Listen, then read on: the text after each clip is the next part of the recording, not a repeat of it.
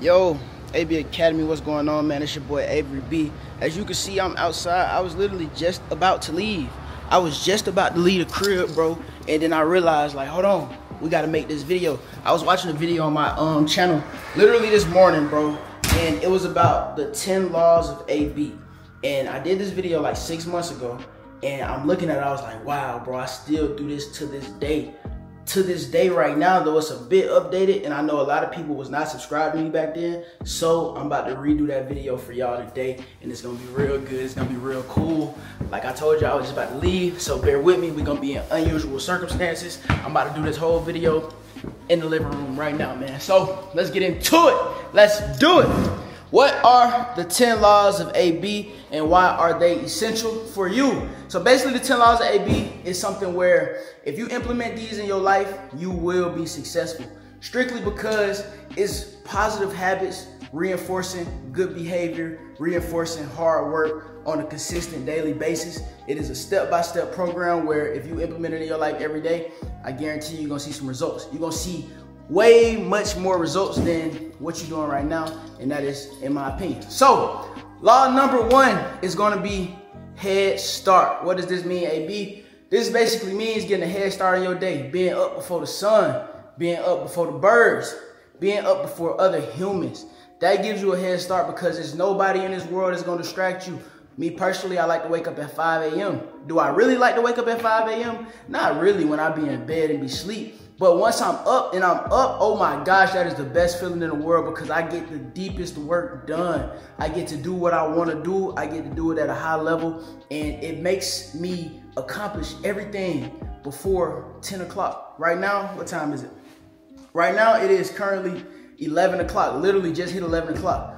I did a full days of work, bro, and I'm still about to go out and film some more. You know what I'm saying? I don't do my filming work, but I do my computer work, my business work in the morning. And waking up early helps me achieve that, and I guarantee you it's gonna be a game changer for you. Next up, keep God first, man. This will be number one, but it is number one because we wake up number one. You feel me? Once we wake up, thank you, God. You know what I'm saying? The reason I thank God, I like to I like to keep a higher power in my life because if you're not worshiping a higher power, you begin to worship yourself. And that's not a good thing, man. You feel me? You got to keep God first. You feel me? I ain't going to get all spiritual religious on y'all, but you got to have that higher power in your life. You got to be thankful, you know what I'm saying, to God for giving you this life. A lot of people don't wake up, you know what I'm saying? A lot of people didn't wake up this morning. You did. That's something to be thankful for. A lot of times we I ain't even gonna say we. A lot of times people, not us, not AB Academy, a lot of times people just are ungrateful. And if you think that you fall into that ungrateful um, arc of people,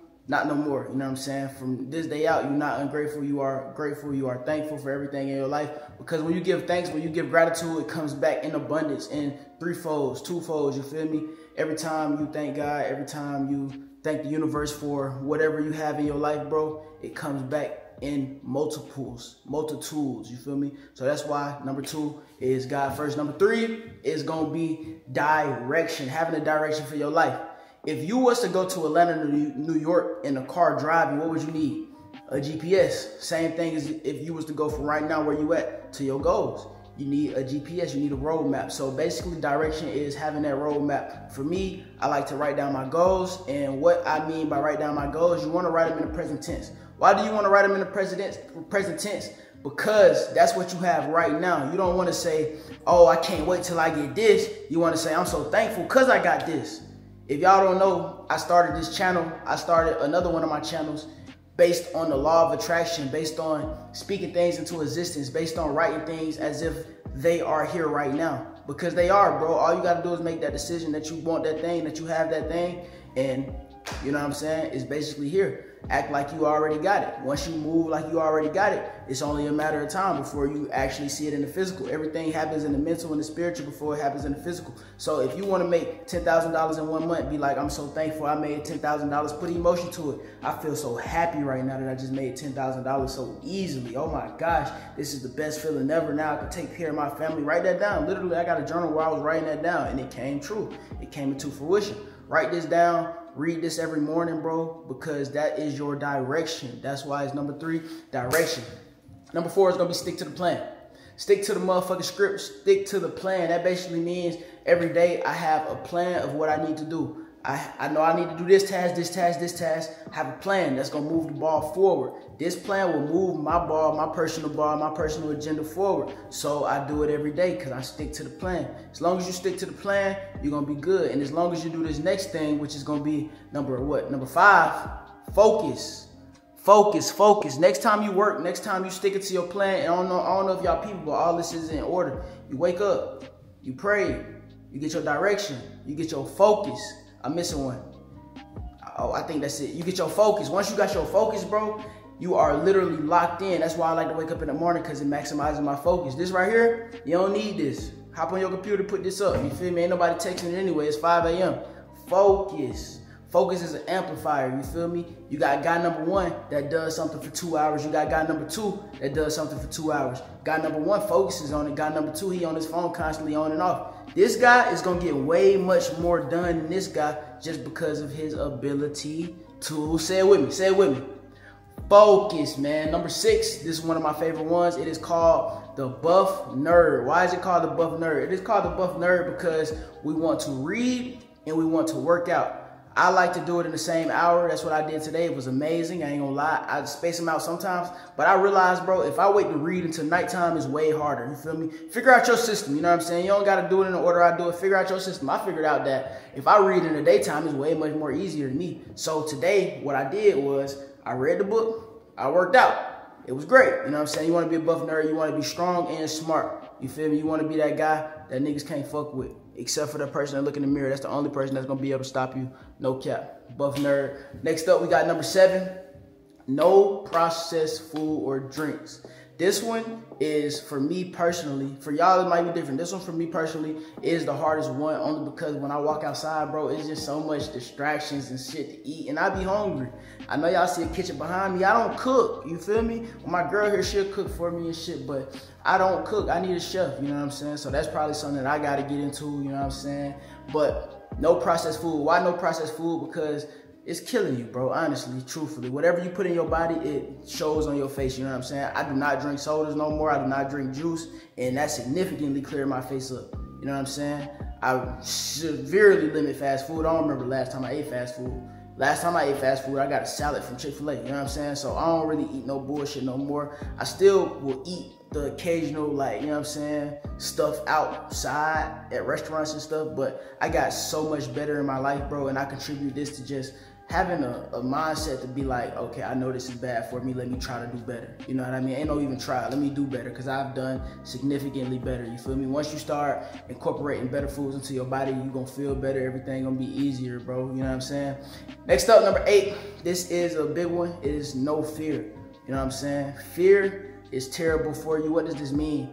I seen somebody comment on my last video and he basically said, AB, can you teach me how not to care about what others think? That is nothing but fear. That is fear of criticism. You are scared of how that person is going to criticize what you do. So you don't do it. And significantly or in in in um in the contrary, you are letting that guy decide your life.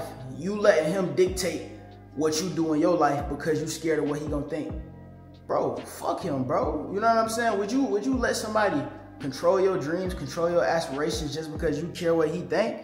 What, bro? That is crazy. I'm not going. You shouldn't go either, bro. Don't be scared of anything. And fear could be a lot of things. It don't just have to be that. It could be fear of criticism, fear of poverty. Whatever you focus on, fear-wise, it's gonna multi- it's gonna multiply, man. You don't even want to focus on fear. We don't got none. Only thing we fear is God. You feel me? We don't got none. Only person that can stop us in this life is the person when we wake up and look in that mirror. That's the only person that's gonna stop you. You feel me? They can't stop you. He can't stop you. She can't stop you. Only you can stop you. If you can't make a way, find a way. If you can't find a way, make a way. You feel me? Only person that can keep you from excelling is that person in the mirror, no cap. Number nine is gonna be spending your money in systems. What does this mean? This means you want a system for your money, you want a system for everything. When you get paid, you want a percentage that, break it down, pay some in your profit account. Make sure you take your profit. Make sure you put some aside to taxes. Make sure you put some aside to your investments. This is what you want to do because when you do it this way, you're gonna get disciplined in your money. You're gonna get disciplined in the way you spend it. You're gonna get disciplined on saving money. Everything is gonna start working out for the better. You ain't gonna have to worry about, damn, bro, I don't got this. I don't got. You ain't gotta worry about that, bro. You ain't gotta put yourself in that mindset of lack. You can walk around knowing where all your money is. You got an investment account on your phone. You got an investment account everywhere. You know what I'm saying? You got different accounts for everything. So now you feel better. You feel me? And last but not least, number 10 at 10 minutes, I see is going to be to track this list.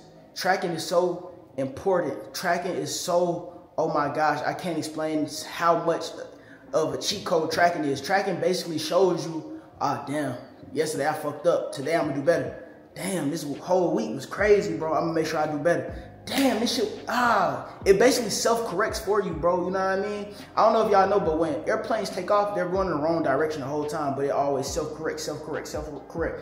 And tracking is your own self-correction mechanism, bro. And it gets you back on track. A lot of people ask me, AB, how you stay consistent?